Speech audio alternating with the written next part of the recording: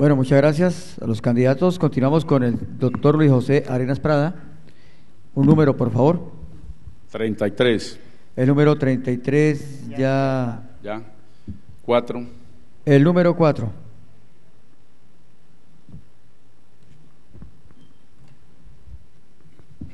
Buenos días, mi nombre es Hernando Remolina, laboro en el Hospital San Juan de Dios, Grupo Salud de San Vicente de Chucurí. Mi pregunta es la siguiente. Los candidatos del municipio de San Vicente Chucurí, aspirantes a la alcaldía, han venido hablando en unos términos no muy agradables acerca de la salud del municipio de San Vicente.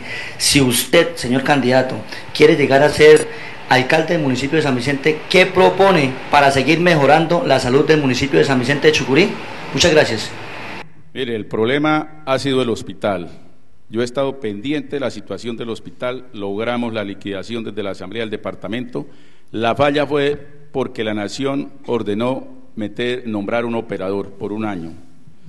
Ayer me reuní con el secretario de Salud. El 18 de octubre se adjudica la licitación a un operador. La solicitud de nosotros, y los invito, señores candidatos, a que se pronuncien, de que debe ganar, aspiramos eso, un operador solvente, con la capacidad suficiente para que este hospital pueda funcionar normalmente, haya una satisfacción en las necesidades de salud del pueblo chucureño. Se le exige allí, yo estuve mirando los pliegos, se le va a entregar a 10 años. Tienen que hacer una inversión anual de 600 millones en infraestructura.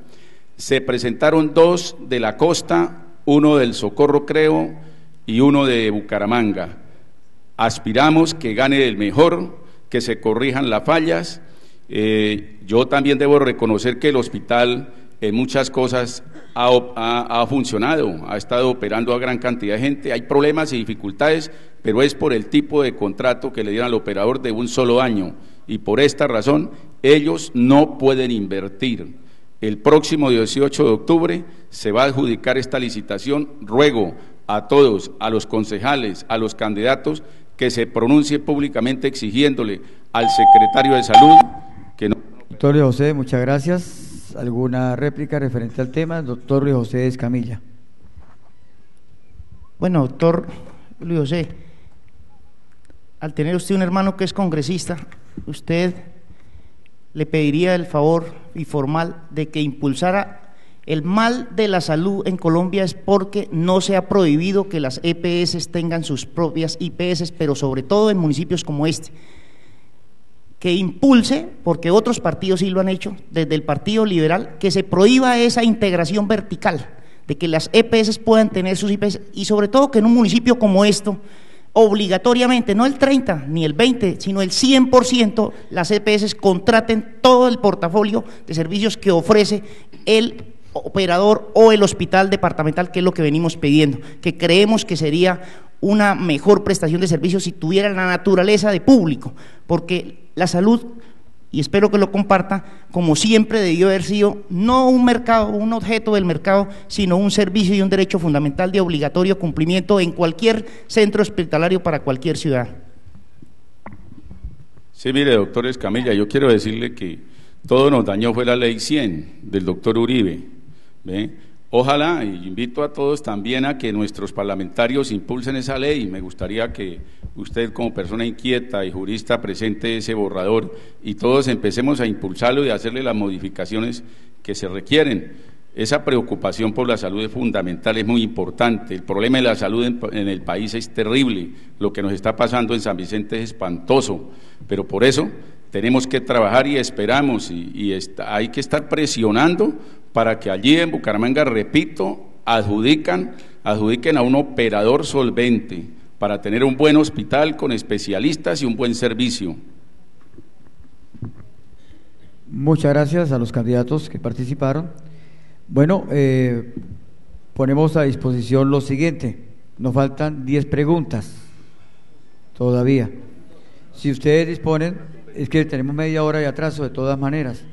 A ver, hay una propuesta, eh, continuar con las cinco preguntas y finalizamos ahí. ¿Sí?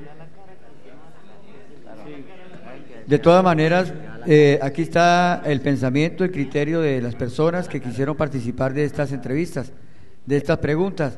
Y estos, estas preguntas es importante, es importante porque de todas maneras son temas muy puntuales y que la gente quiere conocer. Sí, doctor Luis José. Yo creo que hay unanimidad aquí de parte de todos los candidatos en el sentido que hay que darle prioridad al ciudadano verdaderamente que da la cara. Entonces, con mucho respeto yo pienso, sin demeritar a los que no están dando la cara por X razones, pero yo pienso que es sano para todos y es sano para el pueblo, para la ciudadanía, que se le dé prioridad entonces a estas preguntas que las personas tienen el valor civil de dar la cara. Entonces, ¿continuamos?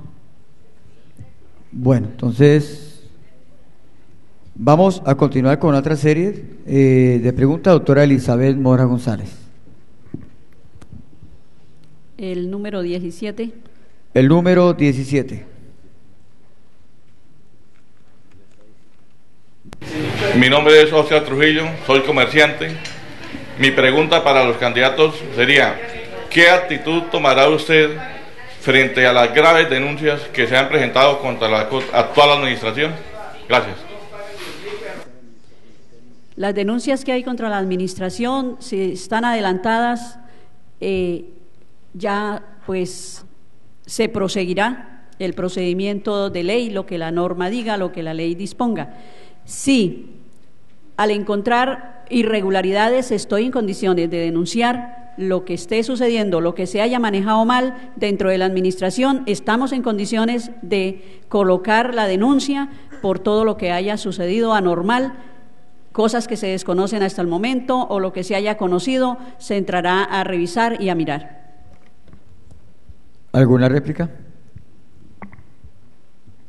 Muchas gracias, doctora Elizabeth. Continuamos con el doctor Luis José Escamilla Moreno con la siguiente pregunta. Número, por favor. 38. El número 38.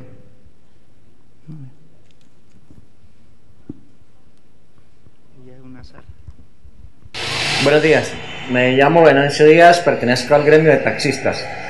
Eh, mi pregunta es, ¿cómo piensa organizar el servicio urbano teniendo en cuenta de que hay mototaxismo y piratería? Esa es mi pregunta.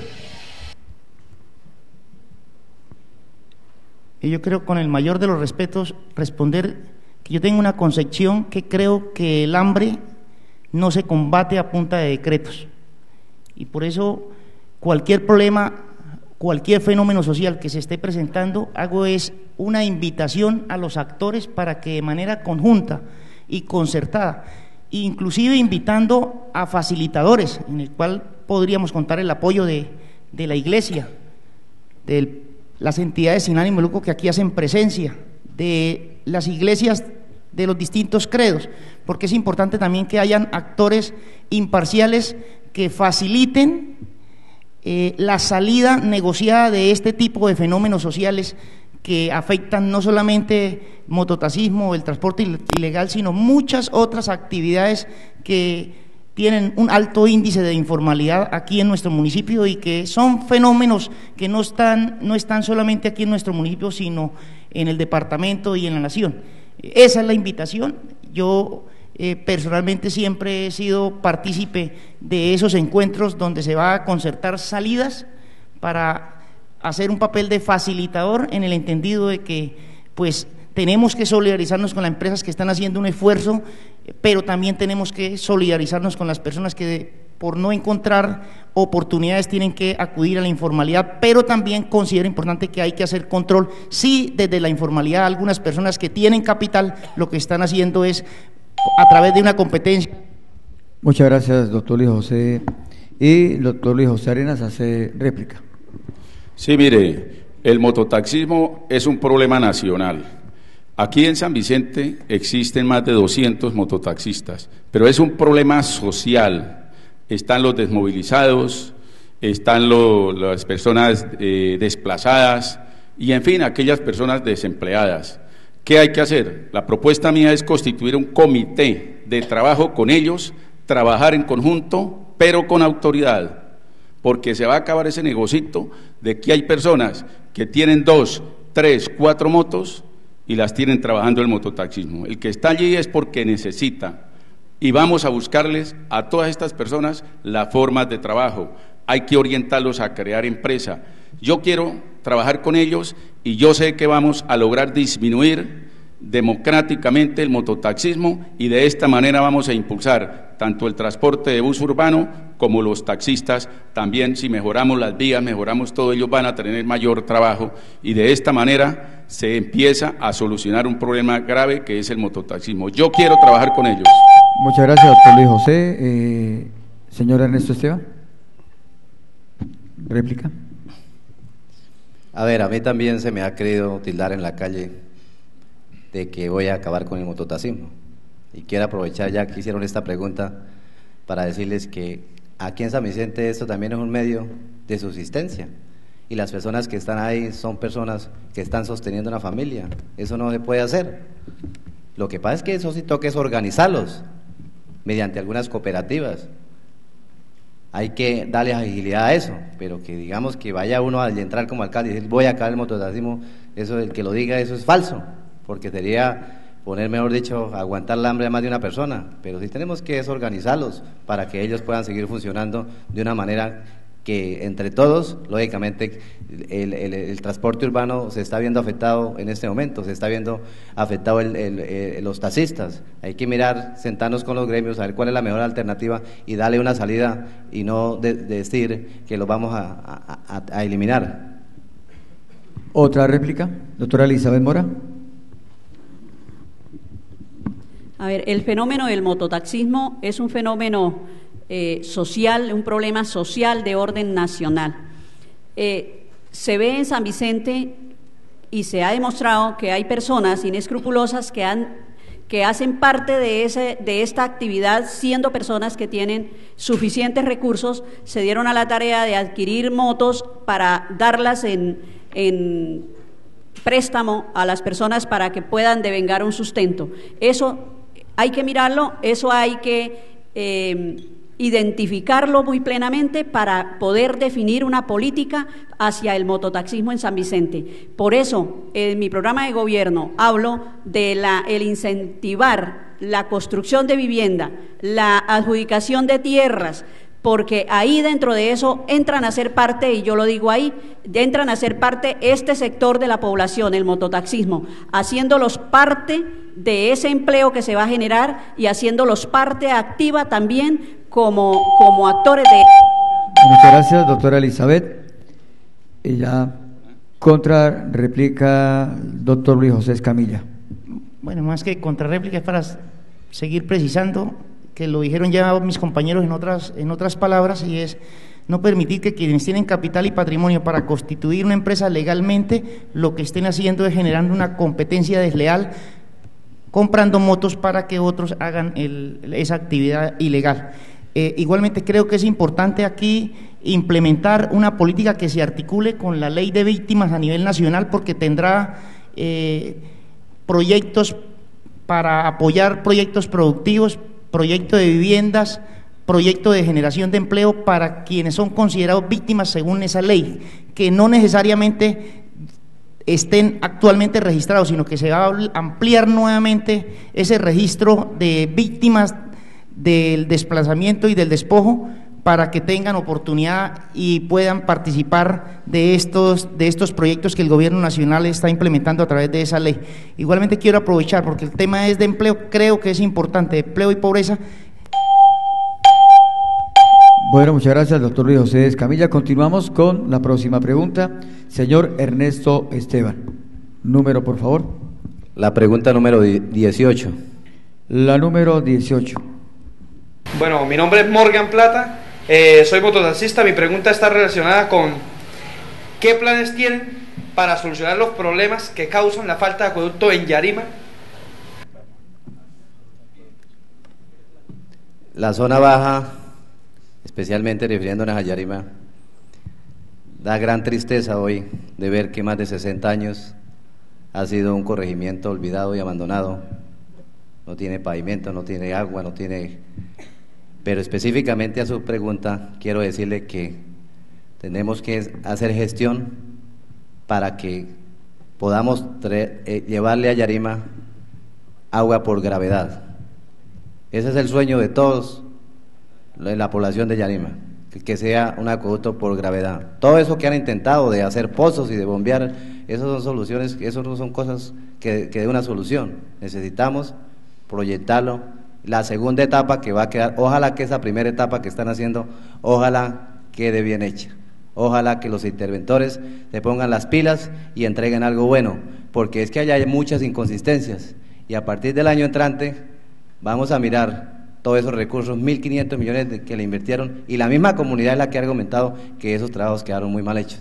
Entonces tenemos que revisar a eso y si logran que eso se, se, haga de la mejor manera posible, vamos a continuar la segunda etapa para garantizarle en mi gobierno que la población de Yarima tenga un acueducto por gravedad.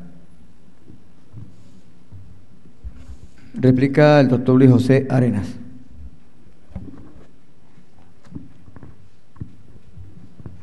Mire, el acueducto de Yarima, entiendo que ya están haciendo las revisiones respectivas, eh, mejorando porque en este momento se está adelantando ya, va a salir la licitación de dos mil millones de pesos que nosotros desde la Asamblea del Departamento aprobamos para el acueducto de Yarima.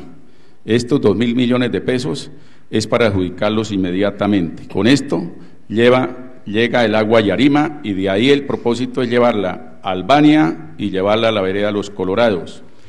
¿Qué hay proyectado? El doctor Serpa está, si logramos que el acueducto llegue siquiera a noviembre, se logre la segunda etapa, vamos, ya hay en reserva 2.400 millones para el alcantarillado. De esta manera, vamos a llevarle estos beneficios a Yarima, porque es que recuerden que en Yarima se hizo un alcantarillado una vez, hace unos años, y lo que hicieron fue taparlo de esquina a esquina y nunca funcionó. Eso hace como unos seis, ocho años por compromisos políticos. Ahí hubo una omisión. ¿Otra réplica por algún candidato? Señor Ernesto, ¿va a contrarreplicar o doctor José Escamilla, siga?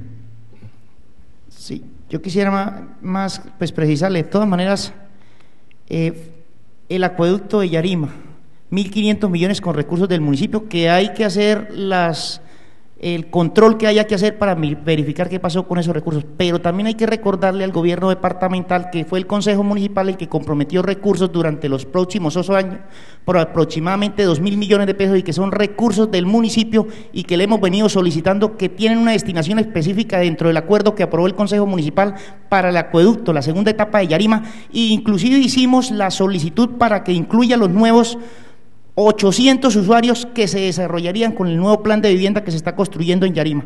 Entonces al gobierno departamental lo que hay que hacerle es la solicitud respetuosa de que nos devuelva lo que ya le giramos a, través del plan departamental de aguas. Y además también en Yarima se está ejecutando desde la troncal hasta Yarima una pavimentación de aproximadamente 10 kilómetros que ya van 8 y es una solicitud que hicimos en el momento oportuno.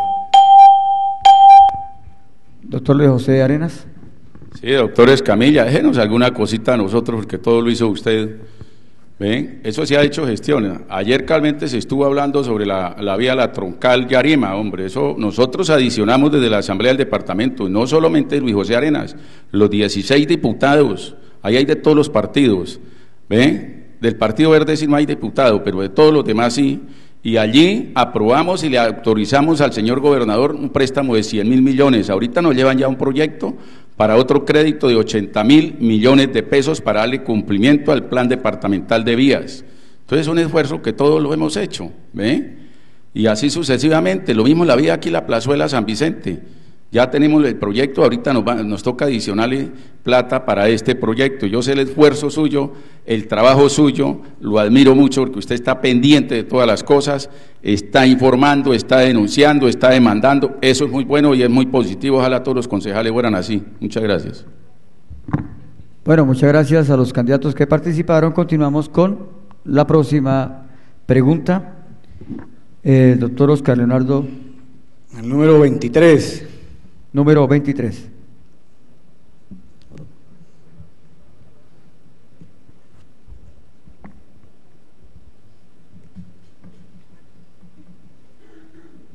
Bueno, mi nombre es Omar Fonseca Osorio. Soy mototaxista, trabajo en mensajería. Mi pregunta a ustedes sería la siguiente. ¿qué harían ustedes con el flagelo, el problema social que existe en San Vicente, que es el mototaxismo, ya que de ahí dependemos muchas personas y muchas familias? ¿Qué harían ustedes? Sin perjudicar a nadie. El derecho al trabajo, sin, perjudicar el derecho a la, a, la, protección hacia la familia. Bueno, el mototaxismo es un fenómeno social que se generó por falta de oportunidades. Lo primero que vamos a adelantar es desde el principio de nuestro gobierno abrir espacios para que los nuevos profesionales, para que las mujeres, los señores tengan oportunidades de desempeñar sus talentos, generando microempresas, generando empresas. A ellos los vamos a entender, por supuesto, porque son muchas familias que están dependiendo de esa labor. No se puede legalizar, pero sí podemos buscarles soluciones en donde todos salgamos ganando, que ellos puedan organizar, generarle proyectos productivos para que ellos organizados puedan generar ingresos. Mientras tanto, mientras tanto, hay que buscar soluciones, como lo decíamos todos, de manera concertada para evitar que fenómenos sociales generen más violencia en San Vicente y todo lo contrario, el alcalde tiene que fomentar en la unidad, el progreso de todos los habitantes. Bueno, continuamos. Entonces, doctor Luis José Arenas Prada. 37. El número 37. Mi nombre es Henry Romero Calderón, pertenezco al gremio de rifadores unidos de San Vicente de Chucurí. Mi pregunta es, ¿qué piensan hacer con nosotros el gremio de rifadores? Si nos van a apoyar sabiendo que aquí en San Vicente no hay más fuentes de empleo. Muchas gracias. Mire, ya lo hemos dicho anteriormente, los problemas sociales de San Vicente son grandes. El problema de los rifadores es por el desempleo. Primero que todo hay que apoyarlos, organizarlos, darle nuestra solidaridad. Y aquel que quiera dejar esta profesión, debemos nosotros darle alguna orientación, darle el apoyo y ubicarlo. Con ellos debemos trabajar de la mano. Mi política es sentarme con ellos, dialogar con ellos y buscarle una salida. Así como hablo del mototaxismo, que quiero sentarme con ellos, con un comité de trabajo, también con ellos vamos a tener un comité de trabajo, porque mi gobierno es de participación. Vamos a oír a todos y este problema social, que es delicado y es grave, hay que buscarle una solución apoyándolos, ayudándolos y orientándolos. Muchas gracias, doctor Luis José. ¿Alguna réplica referente a esta pregunta? Entonces continuamos con la doctora Elizabeth Mora González. La siguiente pregunta. La número 34. La número 34.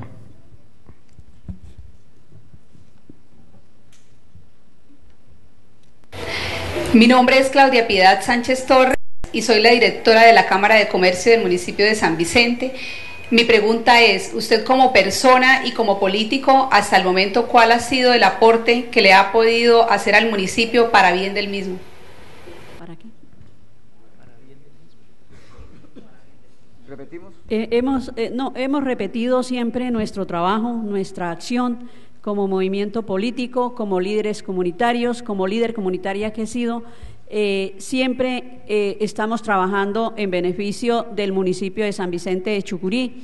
A nivel de movimiento político, ella dice que como políticos eh, tengo un listado de una cantidad de leyes que inclusive ha generado el movimiento político Mira, como el seguimiento a los tratados internacionales, los programas para garantizar los derechos de los adultos mayores, el control a la manipulación e importación de residuos peligrosos, la atención integral a las víctimas de abuso sexual infantil, el aumento de penas para los delitos sexuales, la gestión de calidad de las entidades públicas, el beneficio de los miembros del Cuerpo Técnico de Investigación CTI, la regulación de los parques de atracciones mecánicas, las prácticas universitarias en consulado, perdón, las prácticas sí, universitarias en los consulados y embajadas de Colombia, las amnistías en libretas militares para 130 mil colombianos mayores de 25 años, el aumento de penas a conductores que causen accidentes en estado de embriaguez, la política pública para las personas de talla baja, los descuentos por los comparendos del tránsito, la prevención del síndrome del alcoholismo fetal, la protección de atención integral para personas que padecen epilepsia, la ampliación de la licencia de maternidad de 12 a 14 semanas y la creación del Sistema Nacional de Migrantes, entre otras, que se han hecho en Colombia en beneficio de todos y cada uno, dentro de esos nosotros los chucureños, porque aquí aparece alguien diciendo que qué hay para San Vicente dentro de estas leyes y son todas. Muchas gracias, doctora Elizabeth. ¿Alguna réplica? Bueno. Sí, doctora Arenas. Sí, mire, yo pregunto también, ¿y qué han hecho ellos por San Vicente? Yo he trabajado por San Vicente y yo creo que uno de los puntos fundamentales es mejorar las vidas y luchar por la vida de los ciudadanos, luchar por bienestar. Yo invito aquí, aprovecho para invitar a los señores comerciantes en mi gobierno a que nos sentemos y hagamos mesas de concertación. Para yo sé la honorabilidad de todos, sé su honradez, pero por favor, con esa mesa de concertación vamos a controlar nuestros precios, porque es que el arrocito se subió, las lentejas se subieron, se nos sube el mercadito a todos en la casa. Yo quiero, con todo respeto, porque sé que son personas supremamente honorables, que nos sentemos en mi gobierno, que nos sentemos a concertar y que la Cámara de Comercio eh, haga proyectos en bien de San Vicente, haga propuestas y no se sectarice, no se radicalice, como es lo que vemos nosotros ahorita. Sí, señor Ernesto Esteban.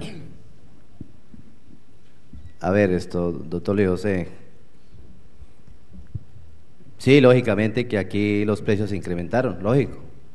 Pero es que también entendemos que la situación del invierno fue tremenda, caótica. Y los amigos comerciantes, les, mejor dicho, yo me incluyo, nos tocó sufrir mucho. A mí, por ejemplo, hubo una semana que duré ocho días para poder traer el combustible. Otra, otra semana me tocó dar la vuelta por Zapatoca y en cualquier cantidad de plata tocó meter el carro tanque porque los carros llegaban acabados. Por ejemplo, los víveres, aprovechar de una vez para agradecer a los comerciantes, a todos los proveedores de diferentes insumos agropecuarios, a los transportadores que en esa oportunidad de esa ola invernal tan tremenda que hubo, lógicamente que mantuvieron sus despensas llenas, pues lógicamente que tenía que incrementar, pero aquí de todas maneras hay muchos negocios y todas las personas pueden preguntar dónde está más barato y ahí deben de, comprar. Entonces, de verdad que reconocer un reconocimiento muy especial para los comerciantes de esa manera. Y nos tocó inclusive a la una, dos de la mañana ir a hacer transbordo de camiones y todas esas cosas. Muchas gracias, señor Ernesto. Doctor Luis José. Sí, mire, yo quiero que entiendan claro, es que yo hacer una propuesta de una mesa de concertación no quiere decir que esté en contra de esos señores. Yo los estoy invitando a que hagan propuestas serias. El invierno lo subimos todos, el invierno lo subió el que producía cacao, todos los comerciantes, los agricultores, todos los ciudadanos, ¿ve? Todos lo subimos. Yo personalmente, yo estuve pendiente de esta situación y muchos políticos de acá para abrir vía rápido. ¿Ve? Es un trabajo concertado de todos.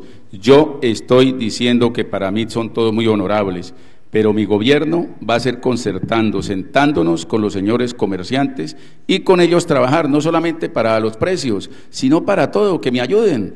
Ellos pueden ayudarme a gobernar, a hacer las cosas bien, a trabajar por San Vicente. Yo sé que hay, hay, hay grandes personalidades, gente luchadora que quiere a San Vicente, que lucha por San Vicente, pero a la casa debemos ponerle orden. Doctora Elizabeth. Eh, en materia de qué se hace por San Vicente, eh, si ahí me tocan en el tema, pues, eh, y si se dice que Mira no ha hecho nada por las vías de San Vicente porque no es nuestro caballito de batalla, es que efectivamente es eso. las vías no son el caballito de batalla de nosotros porque es que las vías son una obligación para todo Colombia. Nosotros como mandatarios, los que están en el poder, los que han estado, los que están ejerciendo, porque nosotros no estamos ejerciendo en estos momentos eh, el Ejecutivo, entonces los que han estado en el Ejecutivo, en el Legislativo, hacia eso deben haber estado trabajando en los municipios. Entonces, eh, por eso nosotros no enfrentamos eh, así lo de las vías, que no sea el caballito de batalla de cada cuatro años diciéndole a la gente que vamos a arreglar las vías porque es que deben estar hechas. Hay los recursos, es gestión, es, es ese interés que debemos tener como mandatarios para gestionar los recursos que están, que existen y que tiene el municipio y tiene la nación encaminados para mejorar las vías. ¿Ha vivido San Vicente una situación difícil? Sí, pero... Muchas gracias, doctora Elizabeth. Doctor Luis José Escamilla. Bueno, yo quiero hacer algunas predicciones. Soy de, la concepción que creo que hay muchas obligaciones en los municipios y pocos recursos. Pero los municipios tienen que igualmente fortalecer al sector empresarial y al sector comercial.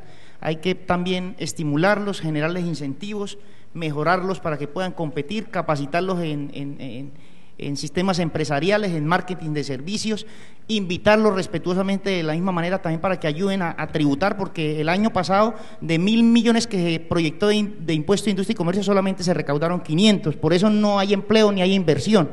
Igualmente, invitarlos respetuosamente a que nos ayuden cuando haya que imponer en, en el periodo de gobierno que ellos hagan como retenedores del impuesto de industria y comercio a los grandes contribuyentes que vienen y distribuyen acá, pero no tributan en nuestro municipio, colaboren con el municipio, porque si hay impuestos, hay más inversión, hay empleo para los diferentes sectores, vías, vivienda, salud, educación, porque son recursos propios de libre destinación. Eso es importante, tenemos que concientizar. Muchas gracias, doctor Luis José Escamilla. Continuamos con las preguntas. Precisamente, doctor Luis José Escamilla, hace usted la, la siguiente pregunta, número. Recordamos quedan 36, 32, 31, 21, 26, 27. ¿26? La número 26.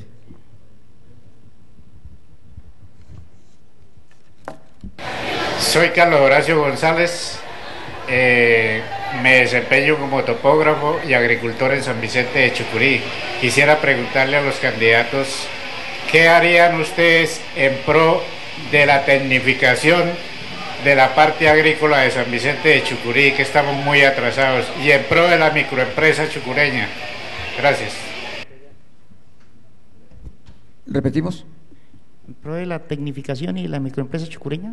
Si quieres, repetimos nuevamente el video. Soy Carlos Horacio González. Eh, me desempeño como topógrafo y agricultor en San Vicente de Chucurí. Quisiera preguntarle a los candidatos qué harían ustedes en pro de la tecnificación de la parte agrícola de San Vicente de Chucurí, que estamos muy atrasados, y en pro de la microempresa chucureña. Gracias.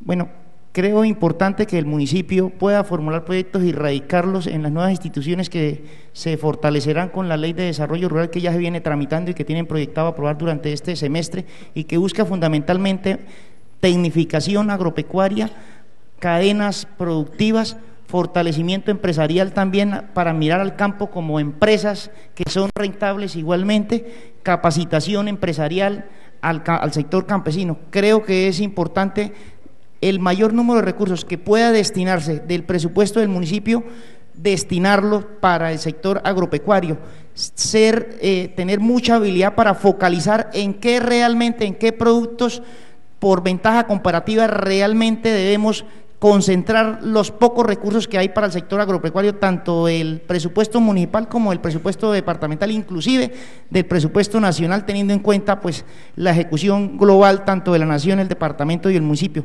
Pero tenemos que tener la habilidad de, de especializarnos en algunos productos, tal vez cacao, café, cítrico, frutales, aguacate y otros que posiblemente por los distintos factores que permiten una alta tecnificación, una alta productividad, poder focalizar, nuestros recursos eh, municipales y departamentales, pero más que la productividad, igualmente hacer enlaces para poder desarrollar cadenas productivas, poder constituir empresas asociativas o de espíritu cooperativo para que puedan comercializar sus productos y fortalecer las vías para que puedan desarrollar. ¿Algún candidato con ¿Alguna réplica, señor Ernesto Esteban? A ver, la tecnificación del campo es lo más fundamental en este momento. Cada día las fincas producen menos, cada día el campesino está más desfavorecido. Entonces, estamos completamente de acuerdo con usted, eh, doctor Luis José Escamilla, que necesitamos eh, traer muchos recursos para esos proyectos productivos que, no- le van a beneficiar al sector agropecuario, porque mientras no haya tecnología en el campo, el campo va a seguir como, está. Nosotros permisivos de que nuestras vayan en deterioro. Necesitamos a través del gobierno municipal, del gobierno departamental, enlazado con el gobierno nacional, darle la mano a estas personas que todos los días están produciendo y que nos están trayendo la comida al sector eh, urbano de nuestro municipio. ¿Otro candidato? Doctor Luis José. Sí. Bueno, gracias por el complemento ahí de la réplica porque me sirve para que por favor hacer la invitación a la Federación de Cacaoteros y al gobierno municipal. Hay que estar atento del plan decenal de cacaocultura que se está desarrollando desde el Ministerio de Agricultura que pretende a 2021 triplicar la productividad hectárea tonelada por año. Entonces tenemos que que la federación haga la labor en, compañía del gobierno municipal para que el Ministerio de Agricultura tenga en cuenta al mayor productor de cacao durante los últimos años promedio, porque parece ser que pueden estar concentrando esos recursos y esos proyectos para el Meta en Granada y el Caldas. Ese es el llamado, tenemos que estar muy atentos de lo que va a pasar, porque busca es, a base de la tecnificación, de acceso a crédito, de, de, mayor productividad, sea vía genética o de otras o de otras alternativas, poder mejorar la productividad y la tecnificación agropecuaria. Muchas gracias, doctor Luis José Escamilla. Continuamos con la siguiente pregunta, señor Ernesto Esteban Macías. 21. La número 21. Mi nombre es José Joaquín Vecino Gómez, soy presidente de la Asociación de Comerciantes de San Vicente de Chucurí. Eh, mi pregunta es la siguiente. ¿Cómo nos garantiza el próximo alcalde de nuestro municipio sobre el desarrollo del mismo con la deuda que actualmente deja la administración saliente, con el déficit fiscal que tenemos y la problemática de las vías? Sí, es una, una realidad bastante grande. En este momento el municipio de San Vicente tiene una deuda de 8.200 millones de pesos, tiene un déficit fiscal que yo creo que cierra a diciembre 31 aproximadamente a unos 1.200 millones de pesos. Está el tema de las regalías que nos disminuyen en un 50% hasta el 2015. Pero yo siempre he dicho, cuando uno ha demostrado que ha sido buen administrador, eso a mí no me preocupa. No me preocupa porque precisamente estamos por eso aquí, porque queremos hacer las cosas muy bien hechas. Y yo sé que los recursos, así sean poquitos, bien manejaditos, nos alcanzan para muchas cosas. Y sobre todo priorizar, en esto hay que priorizar las obras de impacto, porque no podemos empezar como locos a mirar y hacer cualquier cosa, no. Aquí, tenemos que mirar las necesidades que hay alrededor de las comunidades, priorizar y en base en eso vamos a trabajar para que ese- así haya un mejor desarrollo dentro de, nues- de- de nuestro municipio. ¿Candidato con alguna réplica? Doctor Luis José Escamilla.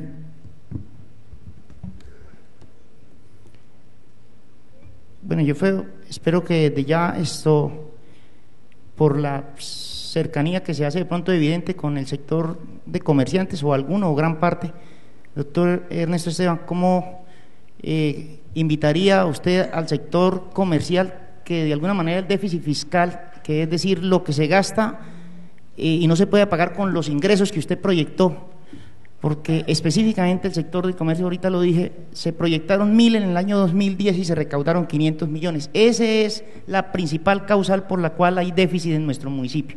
¿Cuál sería su estrategia para que el comercio pudiese no solamente pagar en su momento, sino también esto eh, incrementar el recaudo? E igualmente recaudar que la deuda no es, seguramente usted así lo, lo- lo- se muestra optimista, porque aunque la deuda pareciera alta, yo personalmente aprobé un crédito teniendo en cuenta dos factores. Primero, que el pasado periodo aprobó un crédito a tasas del 14% anual y este periodo de gobierno aprobó créditos a tasas del 7 y 8%, porque el mercado...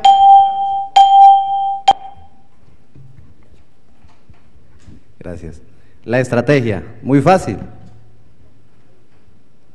Cuando a partir del año entrante entre a gobernar, lo primero que voy a hacer es generar confianza en la gente. Al haber confianza, todo el mundo paga sus impuestos. Inclusive a mí mucha gente que me ha llamado y me ha dicho, don Ernesto, debo tantos años de impuestos, pero el día que usted llegue, ese día lo voy a cancelar porque yo sé que usted va a llegar a hacer las cosas muy bien, a invertir en realidad en las prioridades que tiene el municipio. Entonces, la respuesta es generando confianza en el pueblo de San Vicente. Yo sé que van a acercarse a la tesorería tanto los campesinos como los comerciantes a pagar sus impuestos. Doctor Luis José Escamilla. Bueno, yo quiero hacer esta réplica porque yo pienso que construcción de ciudadanía significa que los ciudadanos tenemos, si tenemos, estamos obligados a pagar el impuesto, pagarlo independientemente, porque no se puede presumir la mala fe, es lo contrario, se presume la buena fe. Tenemos 14 instituciones que controlan el presupuesto del municipio. Contraloría General de República Departamental, Municipal, Personería, Procuraduría General de la República, la, provincial, la regional, la Fiscalía de todo tipo, los órganos que desde el Gobierno Nacional controlan el presupuesto municipal del Sistema General de Participación y de Regalías, múltiples órganos de control. Es más, es mucha la plata que se gasta en controlar. Entonces, siempre que haya cualquier queja, pues colocar la denuncia y dejar que los 14 órganos encargados de controlar, pues que lo hagan. Pero yo personalmente no invito a que nos desgastemos en, ese, en, ese, en esa persecución implacable, sino invitar a construir ciudadanía. Y que si, y ciudadanía implica no solamente pagar el recaudo, sino que hay una denuncia, pues colocarla de frente y presentar la demanda, así como algún candidato aquí siempre ha manifestado. Hay que tener ese valor civil, pero no podemos presumir la mala fe porque no creo que sea humano hacerlo. Muchas gracias, doctor Luis José. Continuamos entonces con la próxima pregunta, doctor Oscar Leonardo Rodríguez Acevedo. El número 31. Número 31.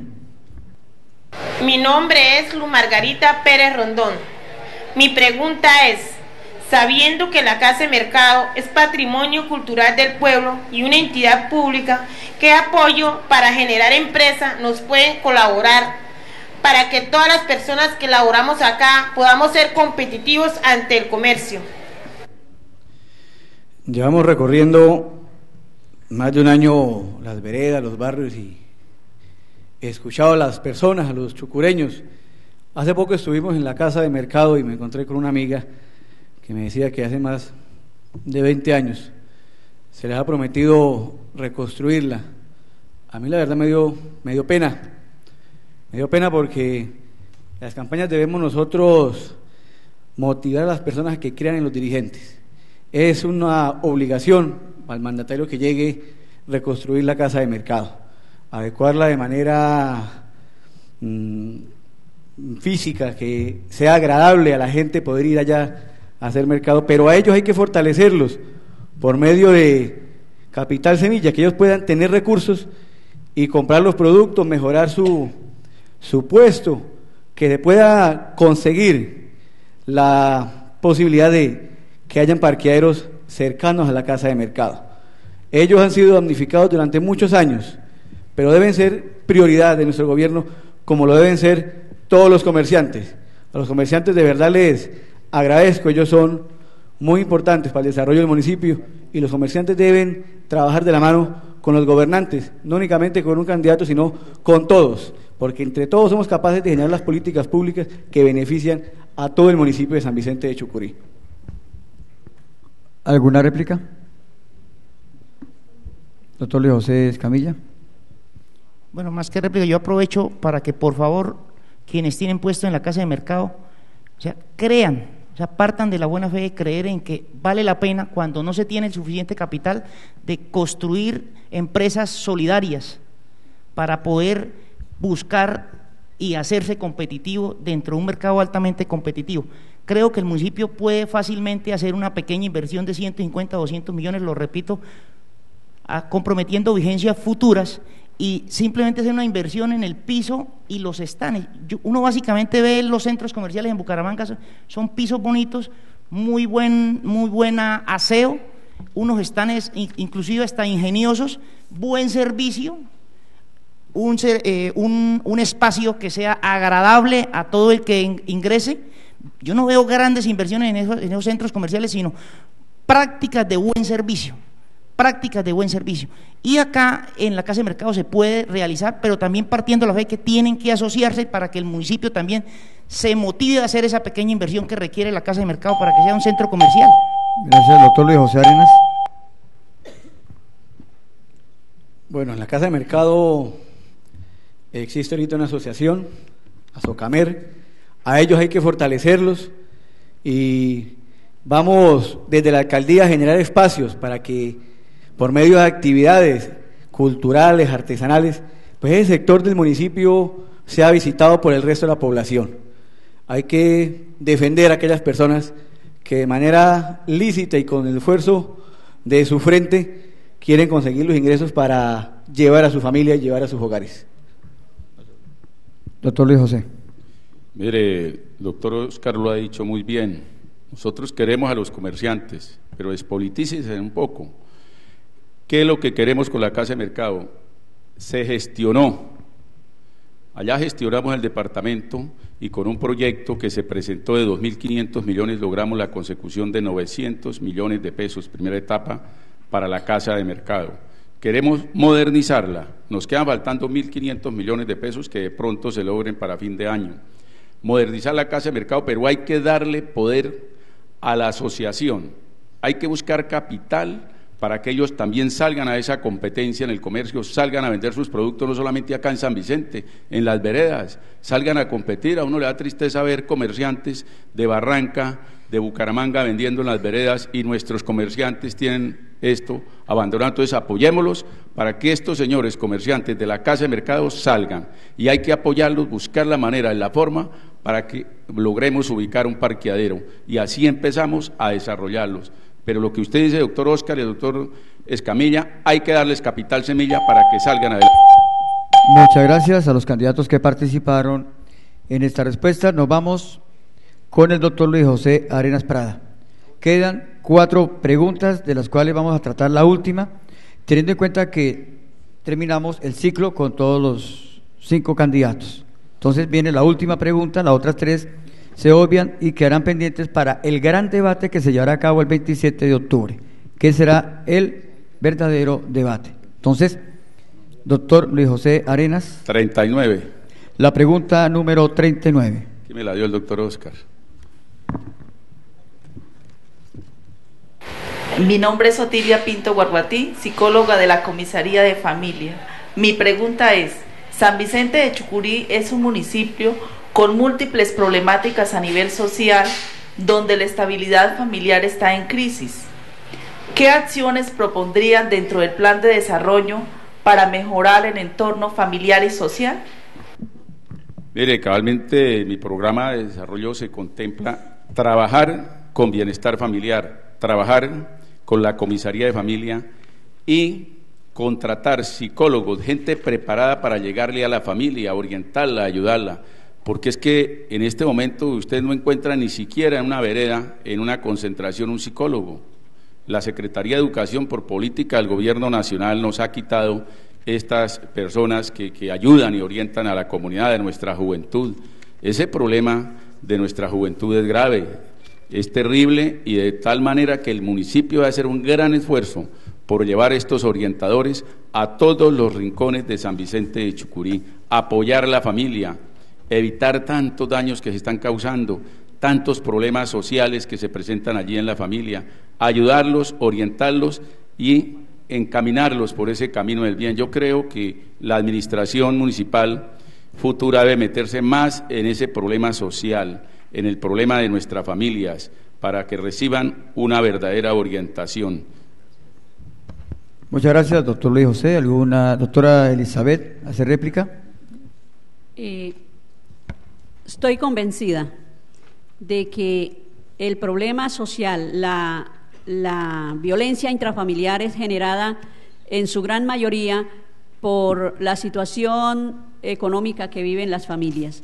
Entonces, se hace necesario mejorar esa calidad de vida desde las administraciones municipales, desde la vinculación a todos los programas de orden nacional, departamental, municipal, el apoyo a esas familias. La ley del abuso sexual contempla eh, la creación de unos comités interinstitucionales que permitan la atención integral a las familias que han sido víctimas de abuso sexual y que son víctimas de la violencia intrafamiliar. la, atención integral, es decir, que estén vinculadas a todas las políticas de participación, a todas las políticas de integración dentro de estos programas en beneficio del mejoramiento de su calidad de vida.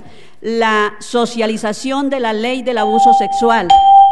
Doctora Elizabeth, muchas gracias. Otro candidato que, doctor Óscar Rodríguez. Este tema debe ser de los el tema bandera de la administración junto a las vías, pero Invertir en la familia es lo más importante y es una gran inversión. La comisaría de familia se tiene que fortalecer para que la, la, comisaría de familia llegue también a las veredas, a los barrios, que tengan esa posibilidad, que tenga el personal indicado de ir al corregimiento de Yarima a ver cómo se encuentran nuestros niños en temas de nutrición, de maltrato, trabajar de la mano con las diferentes entidades del Estado para prevenir abuso sexual y maltrato infantil, defender los derechos de nuestros niños lo vamos a hacer, porque son el futuro y son el soporte y por quienes debemos trabajar todos los días. De esta manera finalizamos el ciclo de preguntas con los candidatos. Igualmente invitándolos desde ahora para el día 13 de octubre. Este próximo 13 de octubre estaremos con candidatas, candidatas mujeres al Consejo del municipio de San Vicente de Chucurí. Habrá una representación por cada lista. Esperamos la presencia de todos ustedes, amigos chucureños, y de las candidatas que estén muy prestas a este próximo encuentro 13 de octubre. Y el gran debate se realizará con los candidatos el día 27 de octubre. Muchas gracias, amigos, por haber estado aquí con nosotros.